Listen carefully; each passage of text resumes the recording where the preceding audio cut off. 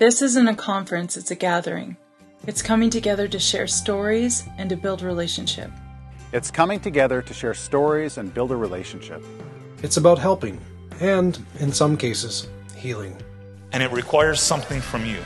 Your journey and your unique perspective, particularly through the last couple of years.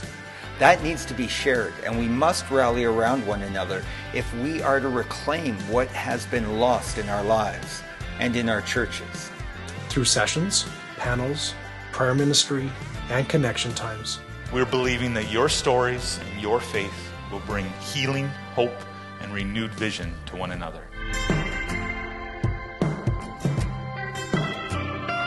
I'm excited to be with you at Reclaim.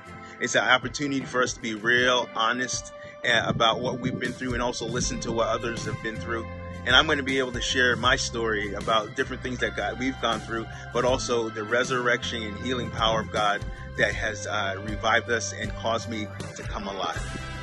Hey friends, Gene Enns here in beautiful Edmonton, Alberta. I am inviting you to join us October 21st and 22nd right here in Edmonton at Maranatha Pentecostal Church for Reclaim.